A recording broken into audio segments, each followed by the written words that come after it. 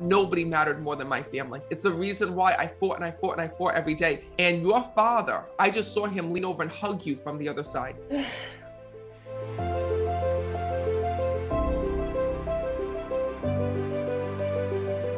so, first of all, there's a couple different souls that I'm hearing from the other side.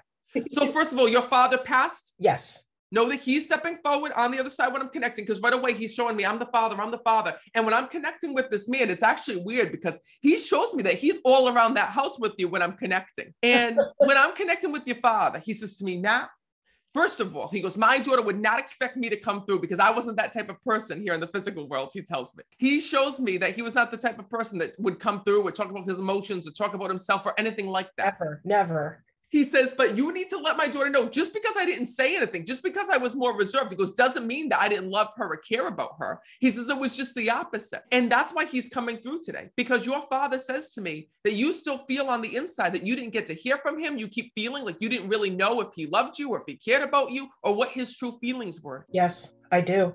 Your father said to me, Matt, I had no idea until I got to the other side. He says, you know, when your father was here, one of the biggest issues that took up a lot of his mind was his health here in the physical world when I'm connecting with him. Absolutely. He says to me, Matt, he says, I struggled with health my entire life, he tells me. And when I'm connecting with your dad, he's showing me different visions of his life that I'm not understanding. For example, when I'm connecting with him, I keep seeing him getting wounds or like cuts. How do you connect with the cuts or the wounds that he would get? Uh, he had a lot of surgeries. Oh my God. Because he keeps showing me different parts of his body, right? Yeah. And he keeps saying to me, I'm waiting for this to heal. I'm waiting for this to heal. And I feel like he was always waiting for different parts of him to heal. And he's also telling me it started to um, cause him some infections here in the physical world. Yes, it did. This is crazy because I'm going to be very honest with you. When I'm connecting with your dad, he's showing me like whatever was going on with him with the surgeries, right? Was affecting all of his organs when I'm connecting with him Yes. because yes. he shows me organs just starting to, to shut down.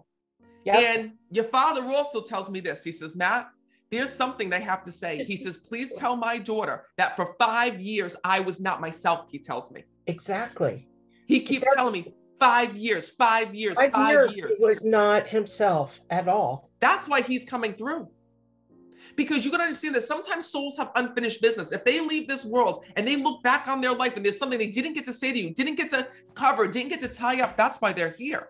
And your father says to me, Matt, he says, I was always easygoing and calm and cool. And then all of a sudden, those past five years, it's like you were like, what did my father turn into? This is not my dad. Like he turned into this mean, grumpy person. And you're like, I don't understand it. And nothing you could do could make this man happy. Do you understand that? Yes, I do. Absolutely. I know what happened with your father because when I'm connecting with him, he's showing me one time he got infected in his blood. He's showing me Mhm. because I keep seeing sepsis when I'm connecting with him.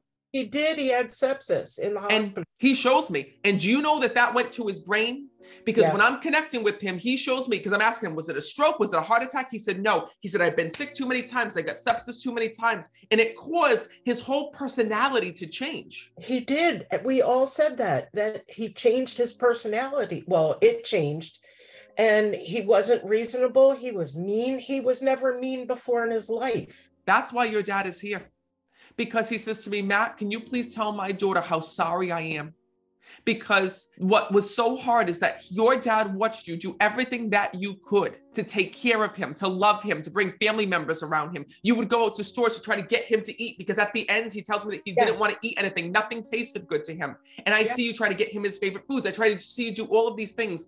And what's hard is, is that on your heart, you keep feeling like your dad died and didn't know everything that you did for him. He Yeah. says to me, Matt, please let my daughter know that I know. And that even though I didn't get to appreciate it here in this world, I appreciate it on the other side. He says, I didn't know any better. He says, because my mind wasn't what it was. So it's really sad because when I'm connecting with your father, it's like you lost your father five years before he actually died. Yeah. And it was so hard for you because you tried to get close with him and love him and be there for him. But ev- as much as close as you tried to get to your father, the more that he hurt you and the more that it pained you to see him that way. Yeah. Your father says to me, Matt, he says, it was not me who suffered, it was my family who suffered. What's crazy is, is I see when you were when when your dad was alive, like I don't know if you had this with your brother or your mom or who the who the conversations were, but your dad's replaying conversations to me where I see you saying, if my father saw the way he was acting right now, he would never, ever, ever, ever be able to be, be able to uh, comprehend what he's doing. Yes, we did. We all talked that about that. That maybe it was the meds or whatever they had him on, but he was he was terrible. Well, your dad is here to give give you that answer because he says to me, Matt, nobody mattered more than my family. He says it's the reason why I fought so hard to stay alive. It's the reason why I fought and I fought and I fought every day. And your father, I just saw him lean over and hug you from the other side. He needs you to know that you can let go of all of that hurt and that pain that you've been carrying on. He says, because at the end of the day, Matt, I'm at peace and I'm able to know what my daughter did for me. And I want to bring her that same peace that she tried to give to me before I died. Thank you.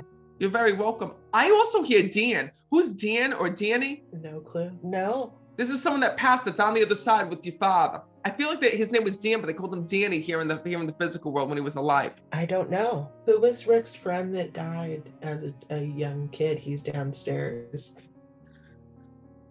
That boy. Yeah, I think so. Danny. That's amazing. Wait, what? I just missed something. Uh, my husband is downstairs and his friend Danny died. And he's Shut the hell up. This is what I'm telling you guys. If- when, when I'm connected with the souls, right, and someone else is in that house with you, those souls can come through. And I keep hearing Danny, Danny, Danny. That was your husband's friend that died? yeah. He's here. Oh my God. That's So know that him and your dad can see one another, even though they weren't related, didn't know each other here in the physical world. The souls can all see each other, just like we are now. So please know it's his way of acknowledging that that friend that your that your husband had lost is here, to let him know that he says hello from heaven. That's crazy, isn't it? He's Wow. working in the garage. Listen, this is what I tell people. Everyone thinks I'm crazy when I say it doesn't matter who's on camera, it matters who's in that house because the souls know. So the fact that your husband's downstairs, he always talks about that friend Danny he lost when he was a little when he was a little kid. Know that that soul is here because I kept hear, hear, saying, "Say Danny's here, say Danny's here," because they whisper in my ear. He, he just started vacuuming when the call started and we shut the door. Well, listen, it's like it says, no. You, there is no escaping the spirit world. Whether you try to clean the car, whether you try to go in in, in garden outside, doesn't matter. If there's a message that's here, a soul that wants to say hi, they will. That's so great. Thank you. All right, I'm gonna leave you with that.